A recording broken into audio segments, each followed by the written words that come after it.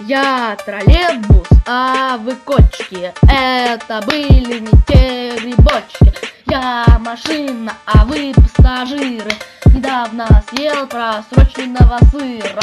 На губах осталась паста. Прохожие думают, что я это баста.